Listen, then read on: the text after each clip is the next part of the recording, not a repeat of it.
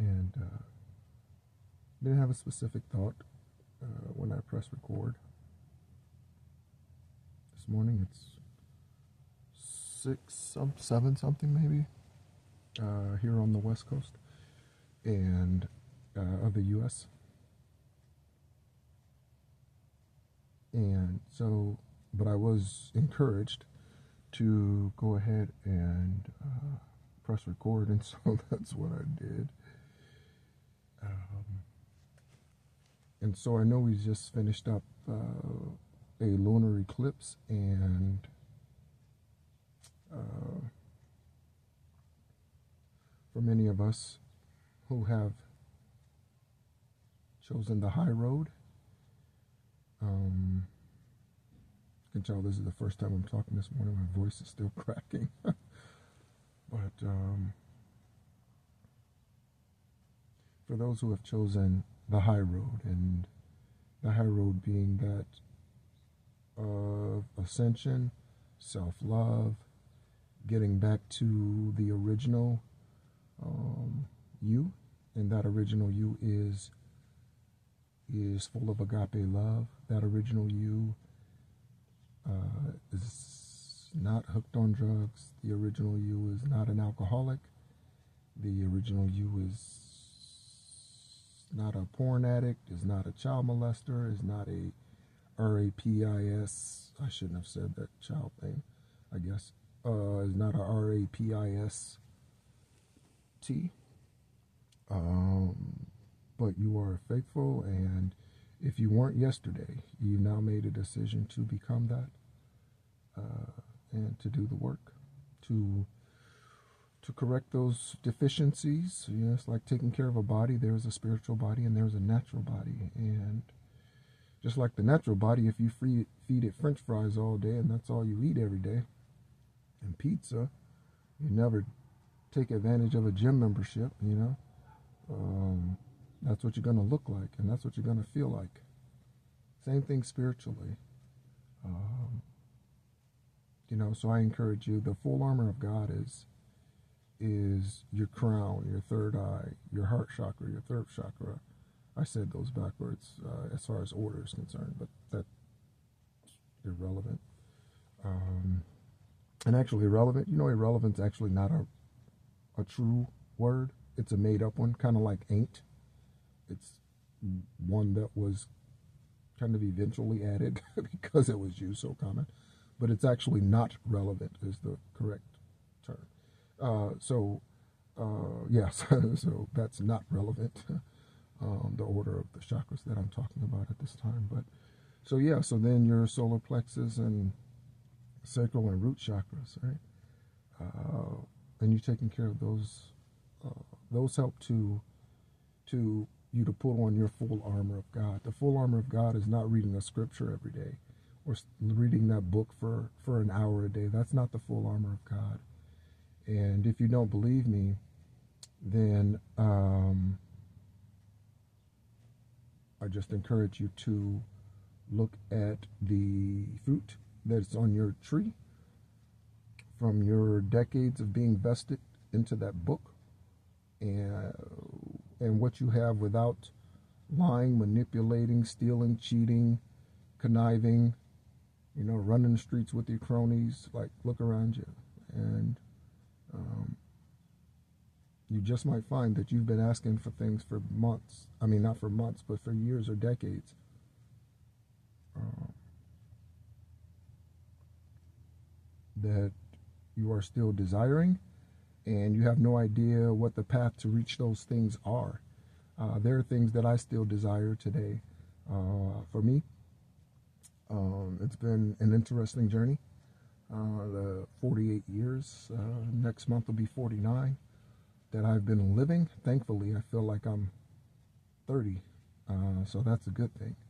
Um, even with a kidney transplant and and that. So, so in my 48 years, I've been homeless three times, and I would be homeless right now, um, except for me hearing and obeying uh, the voice of Most High when I decided to leave Florida abruptly after that situation, uh, which is still under investigation.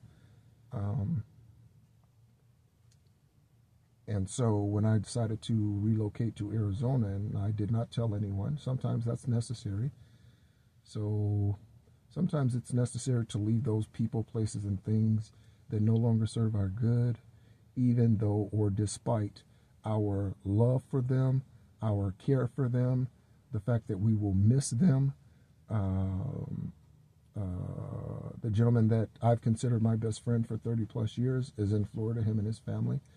Um, and uh, their youngest kid is uh, will be a teenager in in two and a half three years and um, and so uh, yeah I have uh, quite a few quite a few uh, people there. Um, I have a daughter there who uh, is 25 and doing her thing.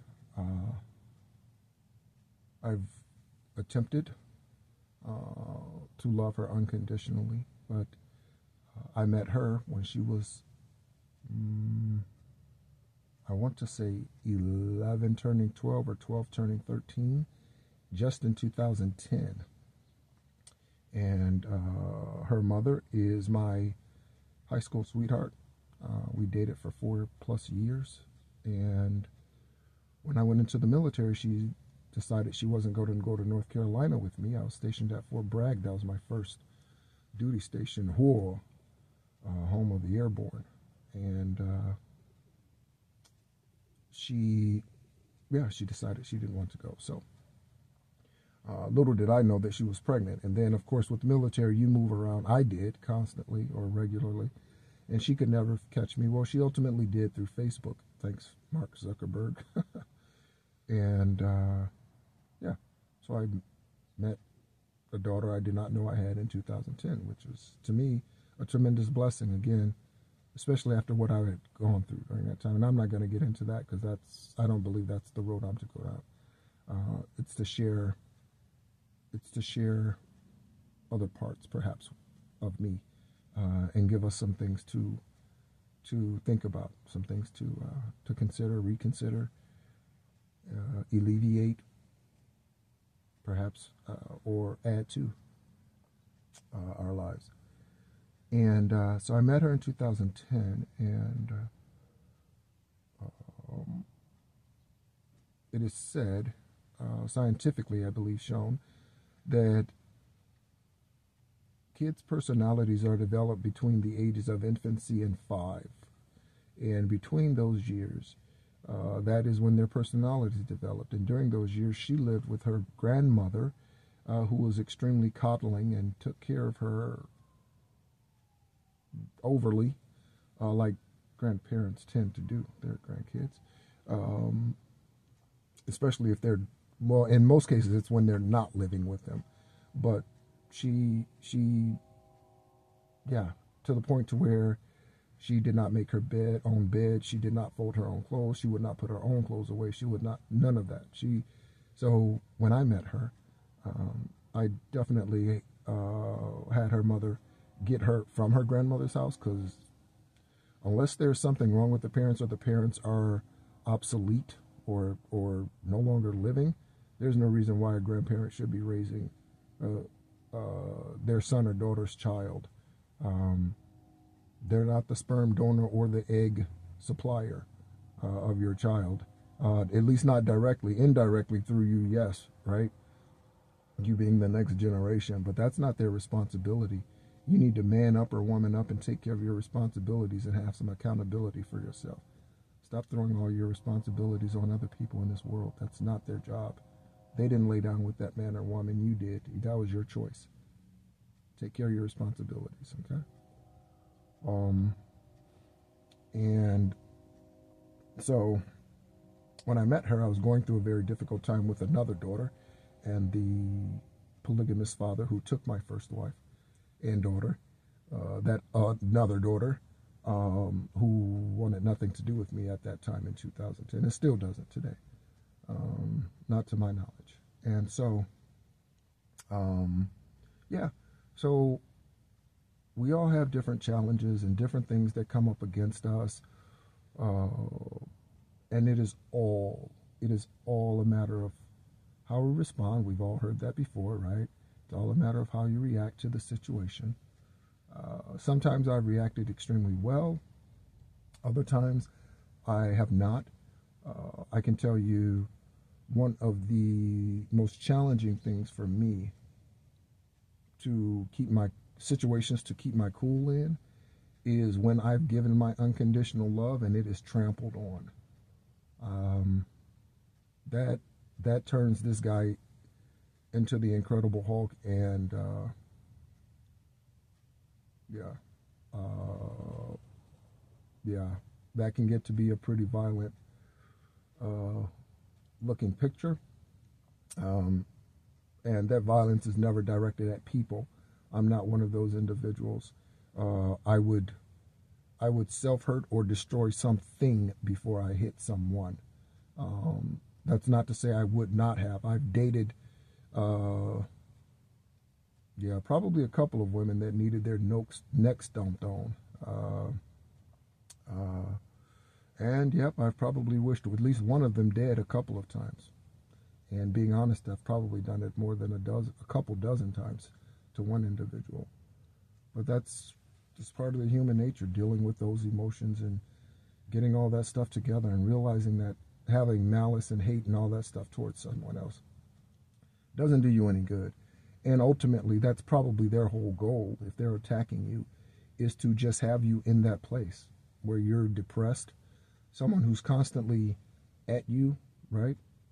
Uh, and they're really not for you, uh, but they're just at you. So they constantly nag. That could be a relative, uh, and just FYI, uh, if no one else's story in this world tells a story of family having nothing to do with blood, mine does.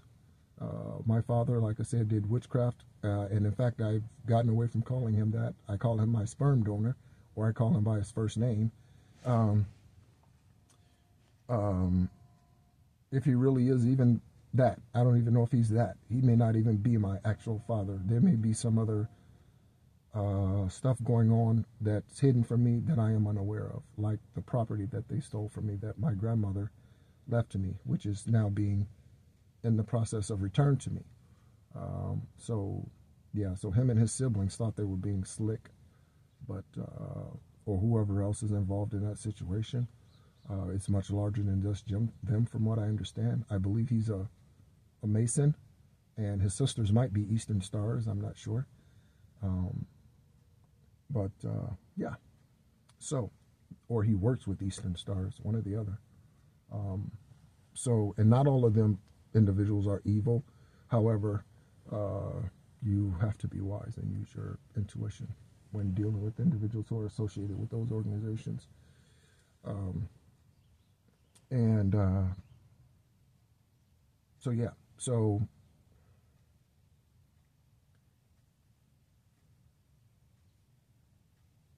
when I got here to Arizona, I did not have a place to live.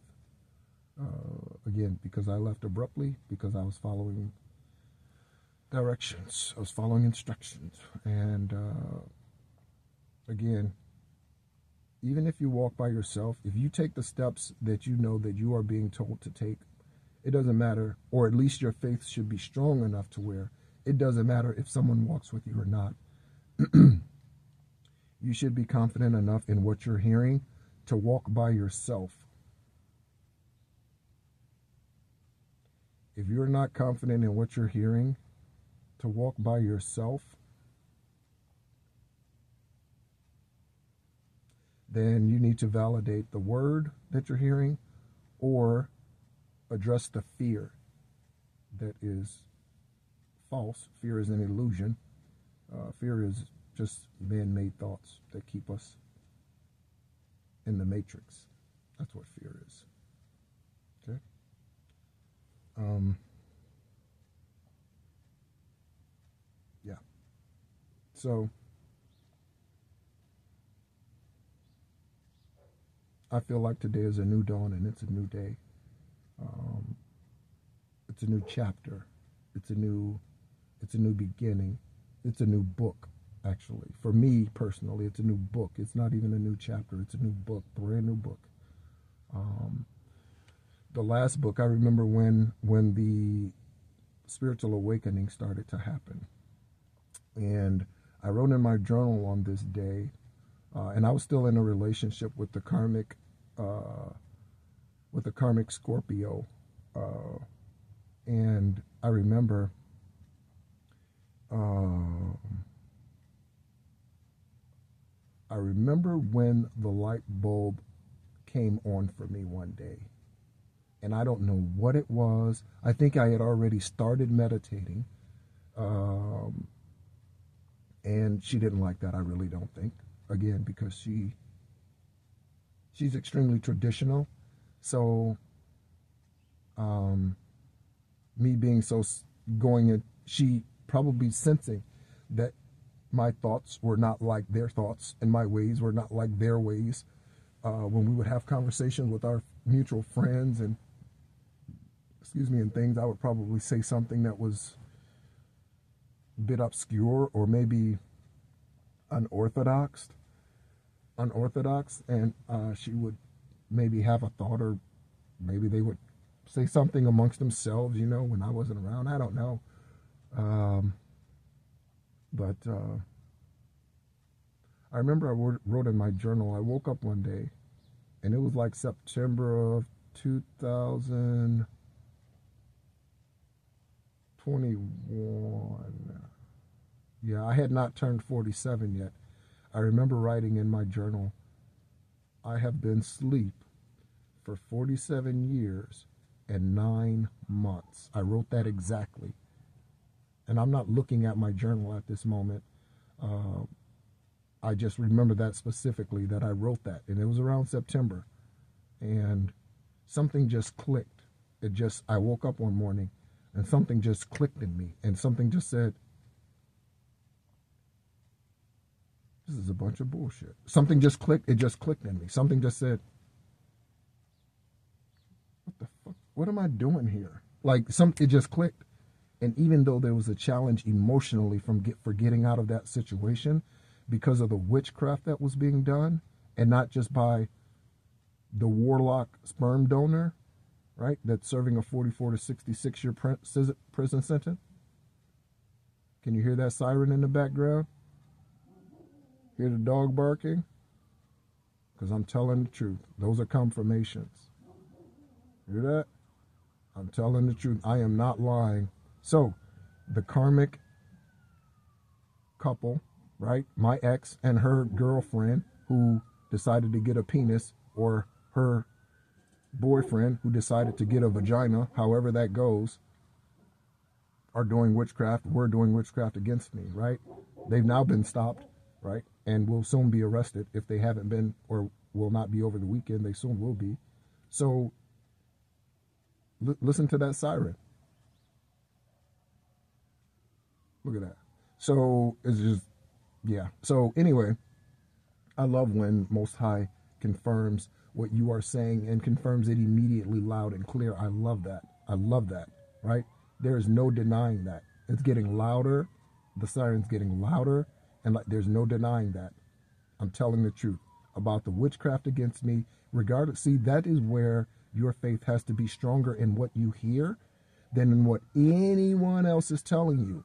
Because the majority of the individuals out here are not high vibrational, they have not ascended, they are in low vibration, manipulating narcissistic tendency type of lifestyles. Okay, they are sex hungry, right? Their their chakras are all cattywampus, all whack, all out of whack, right? Low vibration individuals that just use you for what you can get, even if you are also in low vibration. Right? Because like I said, for 46 years and nine months, I functioned the majority in low vibration as well. Right? But even in my low vibration, I was not stealing from a company. I have been the only accountant, the only accounting professional in a company that's multi-million dollars. And I had access to every account. I'd never take from account. Never. I would never do that. I don't care how low vibration. I would never do that ever. Why? The love I just general the general love I have for man for human that would not ever allow me to do someone like that ever, right? But again, not everyone is like that. This is why we have to protect ourselves. These are the things, right, that are not preached, right, in the churches. They may use the scripture about putting on the full armor of God, but they don't tell you how to do it other than praying and reading a scripture. You got to be faithful. Okay, that's that's good. Okay, be faithful. Okay, that's good. Accountable. Okay, that's good. Okay, that's good. Okay. You got to pray without ceasing. That's good. Okay. But I've been praying for this for 10 years. Hmm. Some might say, just hold on. I don't believe that. I don't believe a promise that the Father gave you unless He said 10 years. I do not believe He would. If He wants it, if He says 10 years, He would give it in 10 years. Okay. He may not give you a specific date, but if you ask Him how long, He will answer you. Right? If He's not giving you indications as you take each and every step. Okay? Right? So if you want the house, get your finances together. Because that's something he's probably going to require of you. Not just because you're going to be applying for perhaps a loan, even if you are paying cash, you won't be need to apply, apply for a loan. However, uh, he would still want your finances in order because maintenance issues, things like that, property taxes, right? These are things that you currently renting do not have to pay for right?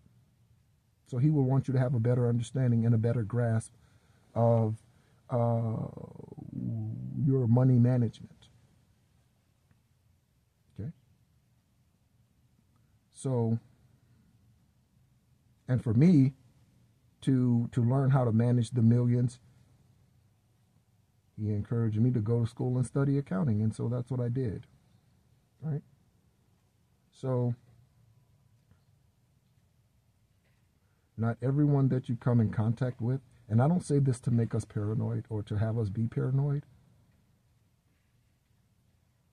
but I caution us to not hand out all of our trust when we first shake the hand of the individual or when they first wink at us or when they give us their number or when we get their number or when they send us that message or when they reply to us, right, on that dating site, right? I'm not on any dating sites. I tried what did I try? Mm, mm, I tried one, and then there was like some some fake profile person, and I was like, yeah, okay, I'm done. Like it literally lasted that long. I was like, yep, okay, nope, not for me. Right? I don't have time to put up with with with uh, doppelgangers, copycats, people who are out there just trying to scam people. I don't have to. I've been dealing with that my entire life thus far, including the women I've dated. I, I've been just nah, right? So again, I made the mistake of fully trusting from the beginning without evaluating. That's not a wise choice. That's foolishness.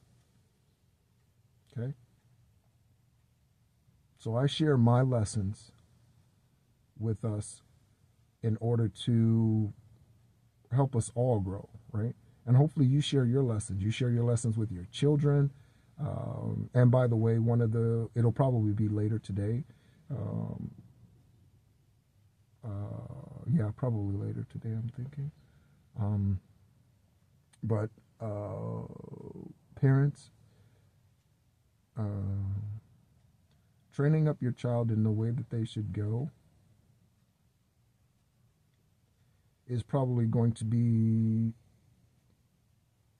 the next, uh, probably the next post, the next video that I post. Um, and having come out of the matrix, having come out of that situation, I realize the extreme, and it is extreme, the extreme significance of parents seeing the light in their children as early as possible and pointing them in that direction. Okay? Now, parents, parents, if you are not asking, if you still have children at home and you are not asking Most High, um, the purpose for for why you birthed this son or this daughter into this world because you were just a vessel okay you do not own them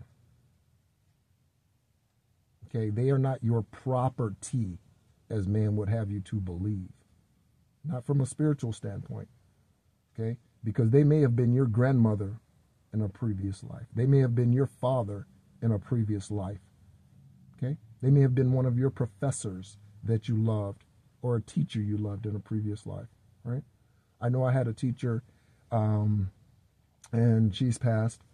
Uh, uh, and I have no doubt uh, she's she's there's there's no coincidence the reason why people are dropped into your spirit that are dropped into your spirit and uh, her name is Patricia Ann Zubzik, and Zubzik, and uh, CIC, and uh, she was an elementary teacher or middle school teacher at Jane Addams Middle School in Bolingbrook, Illinois, in the 80s.